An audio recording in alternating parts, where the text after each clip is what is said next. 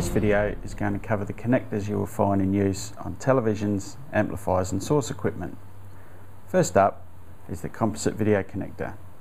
This uses an RCA type plug and is found on all video components. Above this, in quality, is the S-Video connector.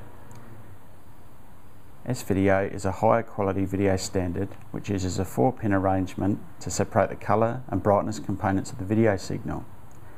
S-Video has virtually been superseded by newer connectors but still may be found on older DVD players, pay TV boxes and Hi8 video cameras. Here you can see the 4 pins used in the S-Video connector. S-Video just pushes in like so. Next up is component video.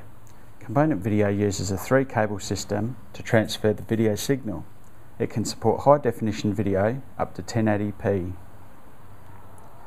We can see the connectors here. Basic RCA connectors matching up with their colours.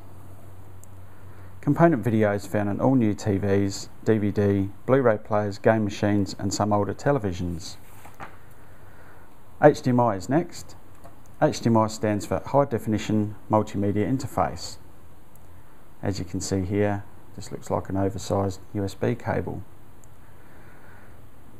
It is a pure digital connector that transfers digital information from DVDs, Blu-rays, set-top boxes, etc. through to TVs and amplifiers. It can support high definition up to 1080p and also support high definition audio and newer versions will support 3D video. HDMI connectors will be found on most new digital TVs, DVD, Blu-ray players and newer gaming machines. Pushes in as so.